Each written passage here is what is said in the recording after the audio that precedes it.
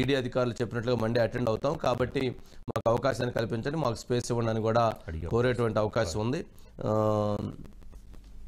మరి ఆ సందర్భంగా ఆ దృశ్యాలు అయితే అక్కడ ఫ్యామిలీ కుటుంబ సభ్యులు కూడా వచ్చినట్లున్నారు.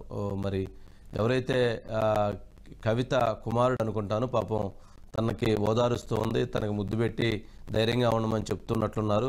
కవిత తన కుమారుడికి ధైర్యాన్ని చెప్పిన దృశ్యాలను కూడా మనం చూస్తే వాళ్ళ అమ్మని ఎవరైతే ఈడీ అధికారులు పోలీసులు తీసుకెళ్తున్నప్పుడు తన హృదయ విదారకమైనటువంటి బాధతో తల్లి వెంట నడుస్తూ తల్లి పక్కన వచ్చినటువంటి కుమారుణ్ణి ఓదార్చి ధైర్యంగా ఉండు నేనే మనం ఎక్కడ తప్పు చేయలేదు మనం అని చెప్పని కూడా కుమారుడికి తను ముద్దు పెట్టి ధైర్యాన్ని చెప్తున్నటువంటి దృశ్యాలు మనం అక్కడ కరెక్ట్గా చూస్తే.